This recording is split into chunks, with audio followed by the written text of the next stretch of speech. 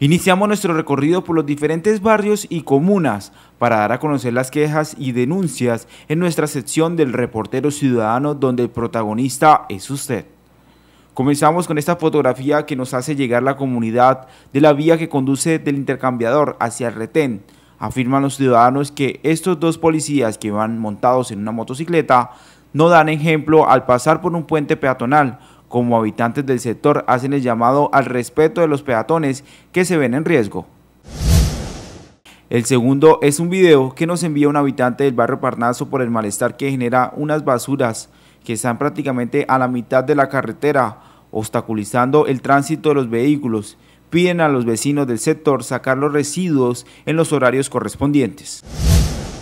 En otras denuncias, en el barrio Caminos de San Silvestre, un ciudadano hace la queja por unos enseres que están en un establecimiento donde se encuentran unos senderos peatonales ocasionando el tránsito de los peatones de la calle 78. Pide que se tomen correctivos por los niños y adultos que corren el riesgo al bajarse a la carretera.